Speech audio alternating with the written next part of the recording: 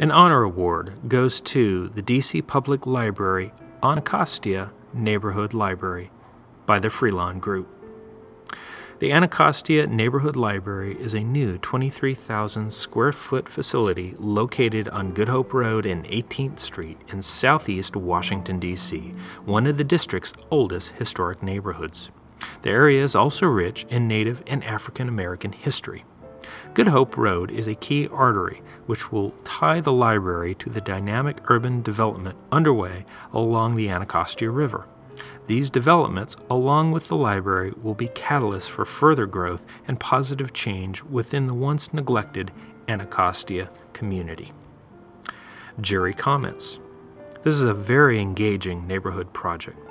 The building form, bold use of color, and the variety of the way in which natural light is introduced into the interior is very skillfully executed. We like the transparency of the building and the visual connection to the street.